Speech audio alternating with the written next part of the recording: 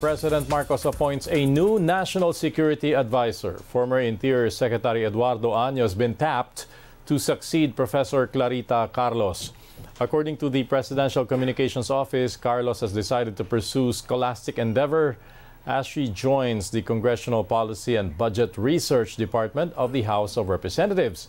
This research department provides the lower house with technical service in the formulation of national economic, fiscal, and social policies. In a statement released by Professor Carlos, Carlos said that she has realized that uh, it's no longer politic to continue as national security advisor to the president. She further says, I have decided to migrate to another agency where my expertise on foreign, defense, and security policy will be of use. Now, this development comes a week after the resignation of Defense Secretary Jose Faustino Jr. and the sudden leadership change in the armed forces of the Philippines. For House Deputy Minority Leader France Castro, he believes Año's appointment is part of what he describes as a widespread ongoing purge of appointees linked to former Executive Secretary Vic Rodriguez. The lawmaker adds a dominant faction in Malacanang has succeeded in booting out individuals in key positions identified with Rodriguez and in the process placed what he calls as Duterte generals whose loyalties may still be with the former president. Rodriguez stepped down from his post in September 2022 after being dragged into the sugar importation mess. President Marcos seeks reforms in the bureaucracy to stop smuggling, reduce logistics costs, and ensure ease of doing business. Marcos admits there's rampant smuggling in the country and existing measures are not working. One recommendation to fight smuggling is the efficient sharing of information between the Customs Bureau and the Department of Agriculture. Officials say this will help authorities go after smugglers. Now, in the meantime, the president says he's open to establishing new agencies if needed to improve the delivery of services from the country's gateways.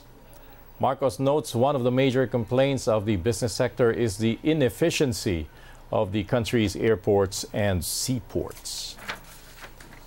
The Philippine Agriculture Department assures farmers the arrival of imported onion supply will not coincide with their harvest season.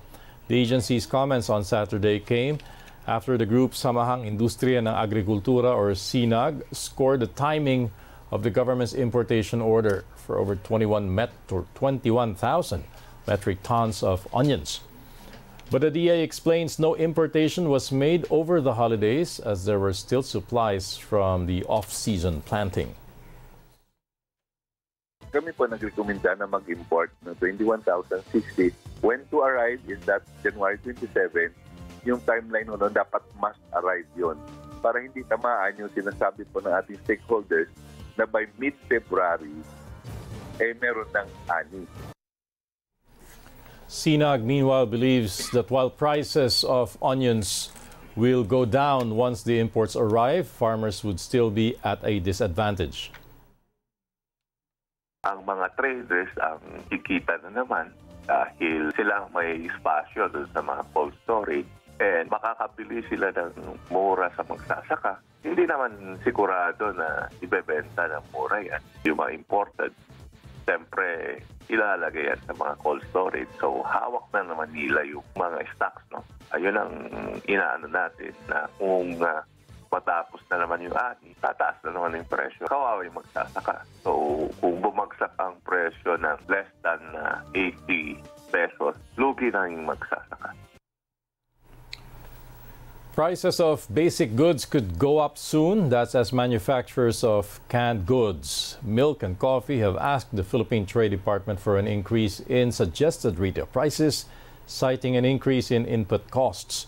The agency says it will review the request, but it is hoping manufacturers can put price hikes on hold as consumers are already suffering from high inflation. Ang babantayan natin yung mga nasa lower price ranges kasi yun ang mga binibili ng mga karaniwang uh, mamimili. Ano? At uh, doon natin kakausapin yung mga manufacturers kung mapapatunayan nga nila na tumataas yung input prices nila.